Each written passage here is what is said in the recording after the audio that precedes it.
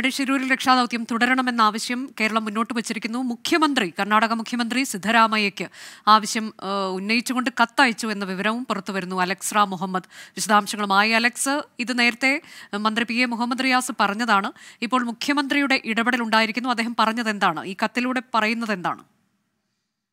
അനുജ പതിമൂന്ന് ദിവസം നീണ്ട രക്ഷാപ്രവർത്തനത്തിനൊടുവിലും അർജുനയോ ആ വാഹനത്തെയോ കണ്ടെത്താൻ സാധിക്കാത്ത പശ്ചാത്തലത്തിലാണ് കർണാടക ഈ രക്ഷാദൌത്യം തിരച്ചിൽ നിർത്തുന്നു എന്ന തരത്തിൽ വാർത്തകൾ പുറത്തു വരുന്നത്.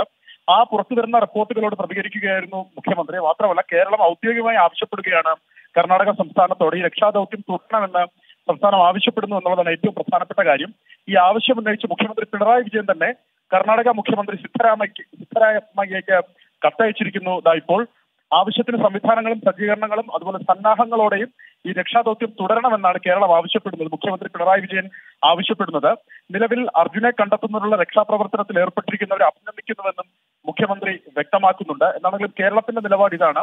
അർജുനയോ അതല്ല എങ്കിൽ ഇതൊരു തുമ്പ് കിട്ടുന്നതുവരെയോ ഈ അന്വേഷണം ഈ തിരച്ചിൽ തുടരണം. ആ രക്ഷാദൌത്യം പൂർത്തിയാക്കണം. അത് ഇതുവരെ ഉപയോഗിച്ചിരുന്നത് പോലെ തന്നെ എല്ലാ സംവിധാനങ്ങളോടുകൂടെയും തന്നെ തുടരണമെന്ന ആവശ്യം മുന്നോട്ട് വെച്ചിരിക്കുന്നു കേരളം സംസ്ഥാന മുഖ്യമന്ത്രി പിണറായി വിജയൻ. അതാണ് രക്ഷാദൌത്യം തുടരണമെന്ന ആവശ്യം കേരളം മുന്നോട്ട് വച്ചിരിക്കുന്നു. മുഖ്യമന്ത്രി പിണറായി വിജയൻ കർണാടക മുഖ്യമന്ത്രി സിദ്ധരാമയ്യയ്ക്ക് കത്തയച്ചിരിക്കുന്നു. ഇതുവരെ തുടർന്ന് പോകുന്ന സംവിധാനങ്ങൾ വേണ്ടിവന്നാൽ കൂടുതൽ സംവിധാനങ്ങൾ ഉപയോഗിച്ചുകൊണ്ട് ഈ ദൗത്യം തുടരണം എന്നുള്ള കേരളത്തിന്റെ ആവശ്യം ഔദ്യോഗികമായി തന്നെ കർണാടകത്തെ അറിയിച്ചിരിക്കുന്നു. ഇനി കർണാടകയുടെ ഭാഗത്തുനിന്ന് വരുന്ന നിലപാട് എന്ത് എന്നുള്ളതാണ് നിർണായകം.